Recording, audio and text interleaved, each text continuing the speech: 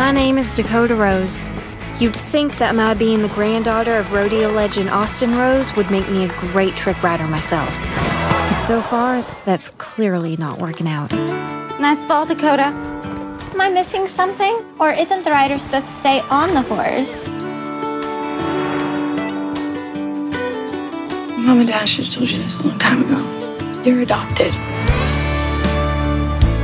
I always wondered why I wasn't a better trick rider, considering I was your granddaughter. Now that I'm not, I guess it makes sense. It's not about blood, it's about heart.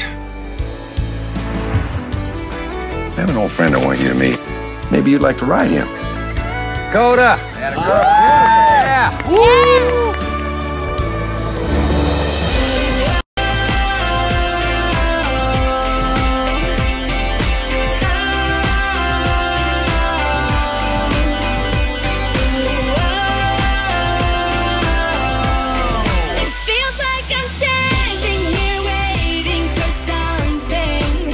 How about we just settle this in the arena?